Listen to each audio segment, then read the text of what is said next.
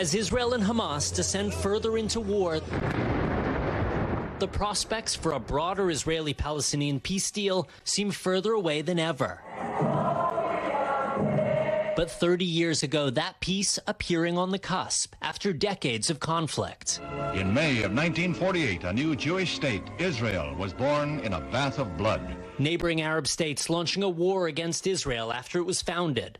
The international community envisioning a Palestinian state too, but Israel fighting with Arab countries in conflicts like the Six Day War and Yom Kippur War, alongside clashes with Palestinians, preventing that state from fully emerging. One of Israel's fiercest soldiers in those years, Yitzhak Rabin, growing into a warrior of peace after being re-elected prime minister in 1992. Rabin spent many years in the Israeli Defense Forces. He knew the cost of war better than most. Rabin opening a door to negotiations with Palestinian leader Yasser Arafat's Palestinian Liberation Organization, or PLO. At that time, the PLO designated a terrorist group by the United States, and a tumultuous Palestinian uprising called the First Intifada in full swing. After months of preliminary talks, Rabin reluctantly met Arafat in Washington. Bill Clinton had to coach him along and say, I know this isn't easy. I know this has been your enemy for a long, long time, but here's our opportunity, uh, and we should grab it. The two, once bitter adversaries, shaking hands, and their delegations signing the Oslo Accord. Enough of blood and tears. Enough. The difficult decision we reached together was one that required great and exceptional courage. The PLO would recognize Israel's right to exist, and Israel would begin transitioning control of the Gaza Strip and the West Bank to Palestinians. The deal, just the beginning for Rabin.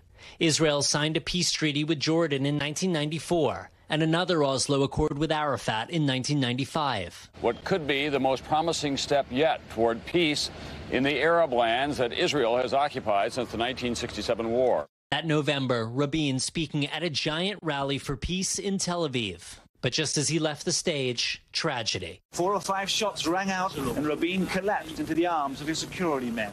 Rabin killed not by a Palestinian, but by a 24 year old Israeli extremist who opposed the peace process. A blood-stained paper found in his jacket pocket. On it, lyrics of Shir LaShalom, or a song for peace. One he sang on stage just moments before his death. In the days following, a national moment of silence. At 2 o'clock this afternoon, the city of Jerusalem ground to a halt.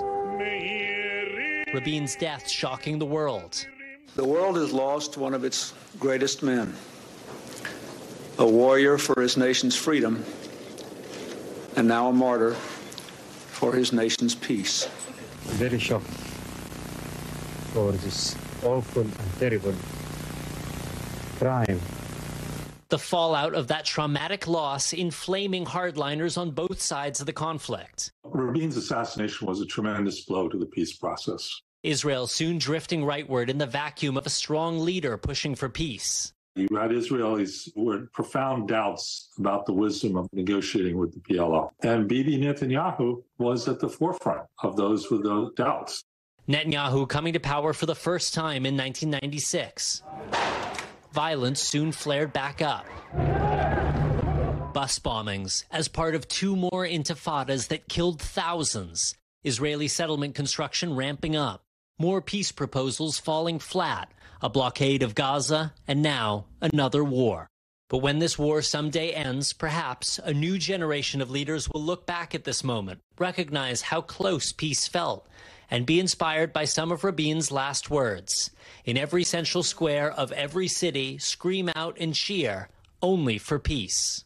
Thanks for watching. Stay updated about breaking news and top stories on the NBC News app or follow us on social media.